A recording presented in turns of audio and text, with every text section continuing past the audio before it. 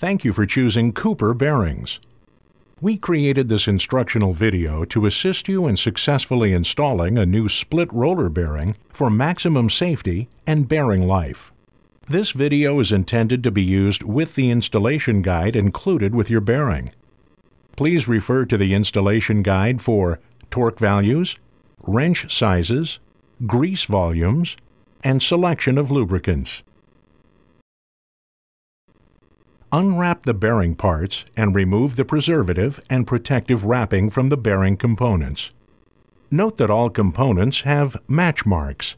Be careful not to interchange parts. There are three options for cage joints. For U-clips, remove the steel U-clips using a small flathead screwdriver. For steel cages, insert a small flathead screwdriver into one of the slots in the upper tab at the joint. Repeat for the second joint.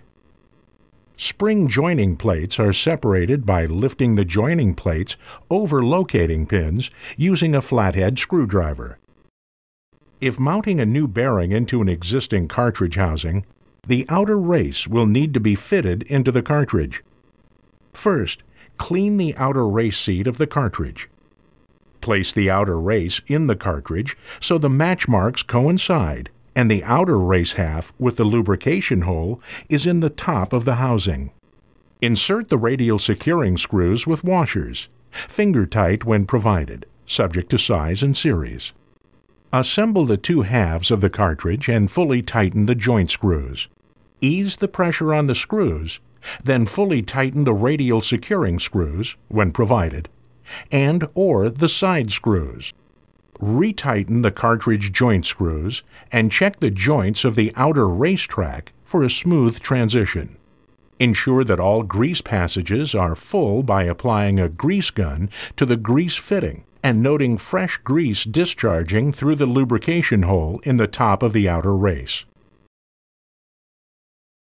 The Cooper split roller bearing in this demonstration is a complete pillow block assembly when installing multiple bearings, the GR fixed bearing, which locates the shaft axially, is typically installed first, followed by EX expansion bearings. To keep the load off the bearing during the assembly procedure, raise the shaft slightly and support it with blocks. First, check the shaft to make sure it's round and parallel. Tolerances will vary by each application, Check the installation guide included with your bearing. Separate aluminum triple labyrinth seal halves by driving out two joining pins with a 1 8 inch pin punch. Lubricate bore of each seal with grease. Assemble seal halves on shaft, ensuring Cooper and shaft size are stamped on the same side. Compress O-rings against shaft so that holes in tongue and groove joints line up. Squeeze joining pins into place using channel locks.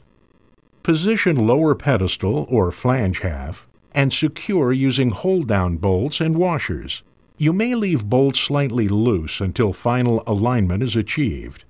If shims are used, make sure entire pedestal base is supported with a full shim.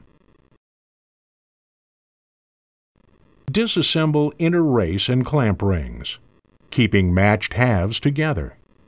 The side face of clamp rings and inner race will have match mark numbers near split lines. Position two inner race halves on shaft, centered on spherical seat of pedestal. Split lines of inner race should be vertical at 12 o'clock and 6 o'clock positions. Insert feeler gauge in bottom split line.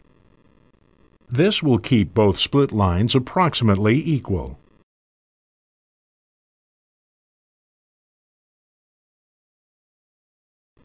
Install clamp ring half with through hole into the inner race grooves with guide lip towards roller path. Offset clamp ring split lines from inner race split lines. Now install lower clamp ring half with threaded hole in bottom, observing match mark numbers. Finger tighten clamp ring screws, ensuring gaps at each clamp ring split lines are approximately equal. Remove feeler gauge from bottom inner race split line. Next, inner race needs to be positioned in relation to GR outer race or EX outer race. Position inner race for GR fixed type bearing. Temporarily rotate lower cartridge half with GR outer race into pedestal. Lower cartridge half does not have lubrication port or grease nipple. Place one half of roller cage assembly on top of inner race. Slide or tap inner race sideways until roller cage assembly rotates freely into grooved outer race.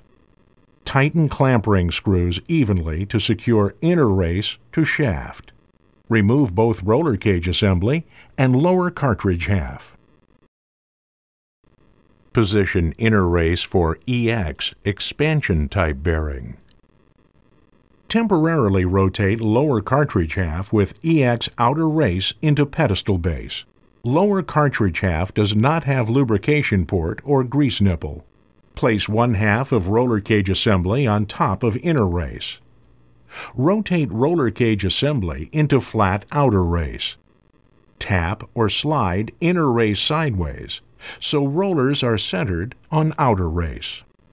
If additional expansion capability is required, the roller can be offset at this time toward the GR fixed bearing to allow more room for expansion.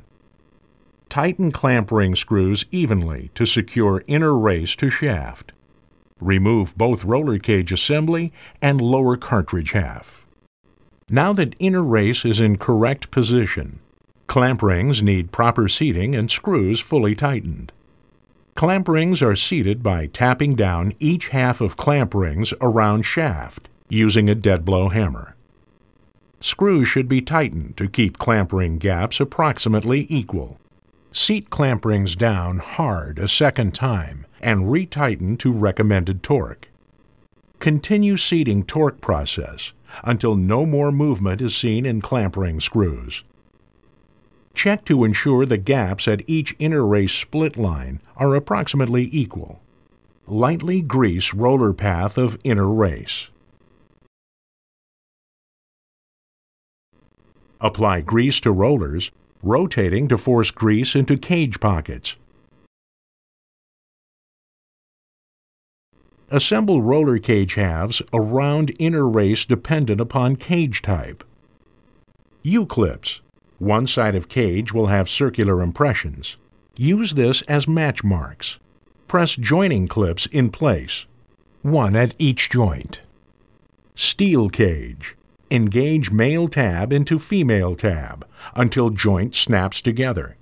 Repeat for other cage joint. Spring joining plates. Push two cage halves together until joining plate clips over protruding pins. Rotate cage assembly around inner race several times to ensure nothing is binding. This also distributes grease.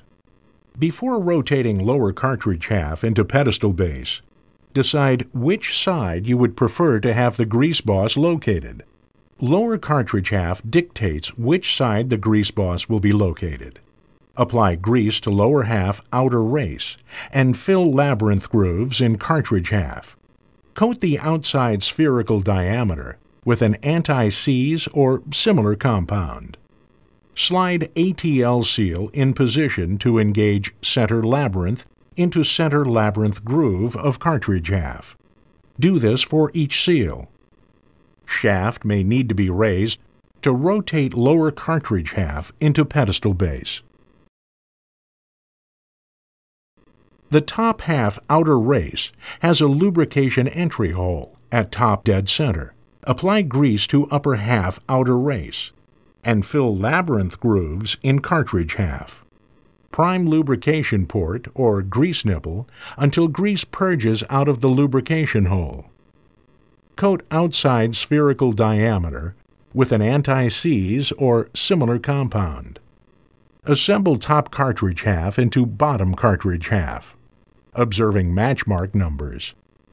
Tighten cartridge joint screws to torque value listed in installation guide. Now you can lower the shaft and load will be applied to bearing.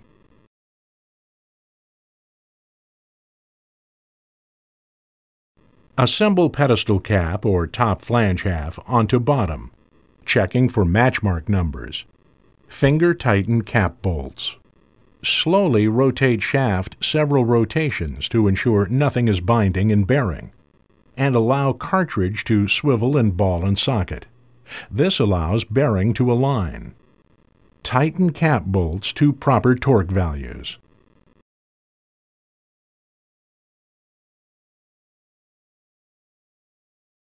Before running the newly installed bearing, please review the assembly checklist.